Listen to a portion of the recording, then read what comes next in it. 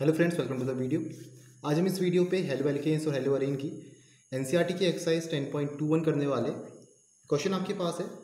Primary alkyl halide C four H nine B R जो आपका A है reacted with alcoholic K O H to give a compound B ठीक है? वो कह रहा है आपके पास प्राइमरी एल्काइल हेलाइड है। प्राइमरी एल्काइल कहने का मतलब वन डिग्री एल्काइल आपके पास है। C four H nine B R है। ठीक है? तो आपके दो यहाँ पर कंपाउंड बन सकते हैं। एक क्या बन सकता है आपका? C H three C H two C H two C H two और बी आर जो आपका नॉर्मल ब्यूटाइल ब्रोमाइड है। ठीक है? एंड दूसरा क्या बन सकता है? C H three C H C H three C H two और बी आर ठीक है? दूसरा कंपाउंड आपका ये बन सकता है, जो आपका आइसो ब्यूटाइल ब्रोमाइड है।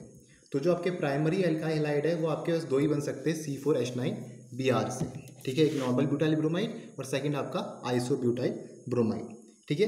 तो क्या कह रखा आपका कि जो आपका प्राइमरी एल्काइलाइड है it is reacted with alcoholic K O H to give a compound B अब एल्कोहलिक के ओ एच से रिएक्ट कर रखा तो आपका डिहाइड्रोहेलोजिनेशन होगा, जो आपका एलिमिनेशन होता है, ठीक है? तो आपको यहाँ पर मिलेगा, जो बी वाला कंपाउंड होगा, ये आपका एल्कीन होगा, ठीक है?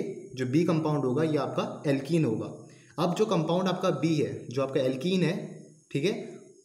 Alkene is reacted with H B R to give C अब इस एल्कीन का आपका रिएक्शन हुआ है एच बी आर से तो आपको मिला है यहाँ पर C product which is an isomer of A ठीक है, जो आपका ए का आइसोमर है।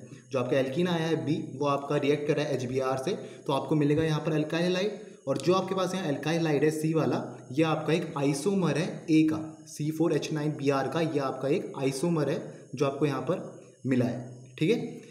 अब जो आपका ए है जो ए प्रोडक्ट है C four H nine B R इसकी जब रिएक्शन हुआ है सोडियम मेटल के साथ when A is reacted with sodium metal it gives a compound D जब ए का C four H nine B R का आपका रिएक्शन हुआ है सोडियम मेटल के साथ तो आपको कंपाउंड डी मिला है। सोडियम मेटल के साथ रिएक्शन होगा तो आपको यहाँ पर वुड्स रिएक्शन होगा, ठीक है? तो वुड्स रिएक्शन पे आपको जो कंपाउंड डी मिला है, वो कौन सा है? सी एट एच एट्टीन ठीक है? सी एट एच एटीन आपको मिल रखा which is different from the compound formed when normal butyl bromide is reacted with sodium तो ये आपकी एक इंपॉर्टेंट लाइन है। बोला है कि जब आपका ए जो आपका C four H nine B R है, इसका रिएक्शन जब आपके सोडियम मेटल के साथ हुई है मतलब इसका जब आपका वुड्स रिएक्शन हुआ है तो आपको कंपाउंड डी मिला है। ठीक है? जिसका आपका molecular formula C eight H eighteen है। अब जो आपके पास ये है which is different from the compound formed when normal butyl bromide is reacted with sodium तो जो आपके पास नॉर्मल ब्यूटाइल ब्रोमाइड है C S three C H two C H two B R तो इसकी रिएक्शन जब आपकी टू मोल ऑफ़ सोडियम के साथ हुई है मतलब वुड्स रिएक्शन होगा आपका ठीक है तो आपको मिल रखा है यहाँ पर क्या मिलेगा C S three C H two C H two C H two C H two C H two C H two और सी एच थ्री तो ये चीज़ आपको यहाँ पर मिलेगी ये क्या है आपका सी एट एच एटीन तो क्या लिखा है आपका which is different from the compound form when normal butyl bromide is reacted with sodium मतलब ये तो आपका यहाँ पर नहीं होगा। ठीक है?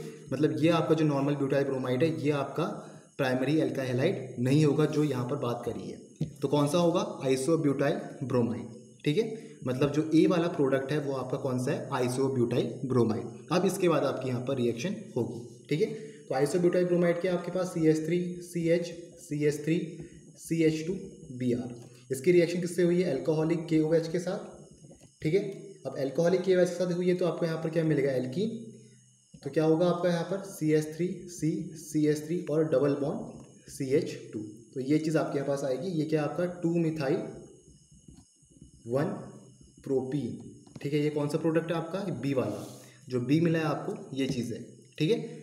अब जो कंपाउंड बी है, जो ये ये है आपके पास two methyl one propene it is reacted with H B R to give C which is an isomer of A ठीक है?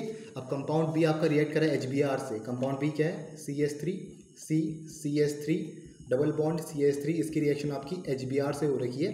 अब आपको ये जो है प्रोडक्ट मिला है यहाँ पर, ये आइसोमर है किसका? आइसोमर ऑफ़ ए अब ए का आपका आइसोमर है। अब ए क्या है हमारे पास? यहाँ पर ए हमारे पास ये है। अब इसका आइसोमर आपका क्या होगा? ठीक है? इसका आइसोमर हमारा होगा क्या होगा? अगर हम मार्कोनी एडिशन यहाँ पर कराएँगे मार्कोनी एडिशन से क्या होगा? आपका जो नेगेटिव पार्ट है, किस पोर्शन पे जाएगा? यहाँ पर जाएगा। तो C H three C C H three B R और सी एच थ्री तो ये चीज़ आपको यहाँ पर मिलेगी, ठीक है? मतलब ये आपका यहाँ पर क्या है? आइसोमर है किसका? आइसोब्यूटाइल ब्रोमाइड का, ठीक है? तो हम यहाँ नहीं करा सकते थे क्योंकि आपका उसमें एंटी मार्कोनी ऑफ़ रूल होता तो उस समय आपका आइसोमर नहीं होता। आइसोमर क्या होता है? जब आपका सेम मॉलिकुलर फॉर्मूला होता है, लेकिन डिफरेंट स्ट्रक्चर होता है। ठीक है? मॉलिकुलर फॉर्मूला आपका यहाँ पर सेम है, लेकिन डिफरेंट आपका यहाँ पर स्ट्रक्चर है। ठीक है? तो ये चीज़ क्या आपके पास यहाँ पर? Tertiary butyl bromide tertiary butyl bromide तो ये चीज़ आपको यहाँ पर मिलेगी। ठीक है? अब जो क्या आपका बोला है when A is reacted with sodium metal it gives a compound D तो डी कंपाउंड क्या होगा? ये क्या हमारे पास ये चीज़ है? आइसोब्यूटाइल ब्रोमाइड मतलब C S three C H C S three C H two और B R plus two mole of sodium तो टू मोल ऑफ़ इसका कंपाउंड भी होगा। तो क्या मिलेगा आपको? C H three C H C H three C H two C H two C H C H three और सी एच थ्री क्या आपके पास ये? Two five one two three four five two five di methyl hexane ठीक है? Two five di methyl hexane है आपके पास। तो ये आपका कंपाउंड कौन सा है? डी वाला। ठीक है? ये कौन सा है आपका? टर्चरी ब्यूटाइल ब्रोमाइड सी वाला। तो ये चीज़ आपको यहाँ पर प्रोडक्ट्स में मिलेंगे। फिर समझते क्या है आपका यहाँ पर। जो आपका primary alkyl halide C four H nine B R ठीक है? तो प्राइमरी एल्काइल हमारे हमारे दो बन सकते हैं बस। एक हमारा नॉर्मल ब्यूटाइल ब्रोमाइड बन सकता था, एक हमारा आइसो ब्यूटाइल ब्रोमाइड बन सकता था, ठीक है? तो ये जो आपके कंपाउंड है, इसका आपका रिएक्शन हुई है एल्कोहलिक के ओ एच के साथ। तो आपको यहाँ पर कंपाउंड बी मिला है, ठीक है? अब इन दोनों में से आपका कौन सा होगा, वो हमें कैसे पता चला? आपका यहाँ पर लिखा है कि when A is reacted with sodium metal it gives a compound D ठीक है? जब ए की रिएक्शन जब आपका जो ए है ए कौन सा है यहाँ पर? जब आपका ए की रिएक्शन यहाँ पर सोडियम मेटल के साथ हो रखी है, तब आपको यहाँ पर कंपाउंड डी मिल रखा C eight H eighteen which is different जो आपका अलग है from the compound formed when normal butyl bromide is reacted with sodium तो जब नॉर्मल ब्यूटाइल ब्रोमाइड की रिएक्शन सोडियम के साथ हुई है, जो आपकी वुड्स रिएक्शन हो रही है तो उससे आपका ये डिफरेंट कंपाउंड है। मतलब नॉर्मल ब्यूटाइल ब्रोमाइड आपका यहाँ पर नहीं होगा आइसो ब्यूटाइल ब्रोमाइड आपका यहाँ पर होगा। तो ये तो आपका यहाँ पर आ गया। ठीक है? उसके बाद क्या हुआ? है एक ही रिएक्शन आपकी एल्कोहलिक के के साथ हो रही है। तो एल्कोहलिक जो आपका के है, उसके साथ रिएक्शन हो रही है तो आपको टू मिथाइल वन प्रोपीन मिला है, जो आपका बी वाला कंपाउंड है। ठीक है? फिर क्या है? Compound B is reacted with H B R to give C which is an isomer of A तो कंपाउंड बी क्या आपके पास? ये चीज़। ठीक है? इसकी रिएक्शन किसके साथ हो रही है आपके? आर के साथ है, ठीक है? तो मार्कोनी एडिशन लगाएँगे क्यों हमें आइसोमर चाहिए। आइसोमर में क्या होता है आपका सेम मॉलिकुलर फॉर्मूला पर डिफरेंट स्ट्रक्चर तो आपका क्या होगा? मार्कोनी एडिशन लगेगा। तो आपका इस पोर्शन पर आपका, इस पोजिशन पर आपका बी आर जाएगा, ठीक है? तो आपको मिलेगा टर्चरी ब्यूटाइल ब्रोमाइड ये कौन सा है आपका? सी वाला, ठीक है? इसके बाद क्या हुआ है आपका? फिर हमारा वही था when A is reacted with sodium metal it gives a compound D ठीक है? तो ए आपका यहाँ पर जो आइसोब्यूटाइल ब्रोमाइड था, इसकी रिएक्शन आपकी सोडियम के साथ हो रही है वुड्स रिएक्शन तब आपको मिला है टू फाइव डाईमिथाइल हेक्सेन जो आपका डी वाला प्रोडक्ट है, ठीक है? तो ये आपका यहाँ पर है, पूरा जो भी ए बी सी डी वाले प्रोडक्ट्स है, ऐसे आपके यहाँ पर निकलेंगे, ठीक है? तो ये था आपका ten point two one thank you for watching the video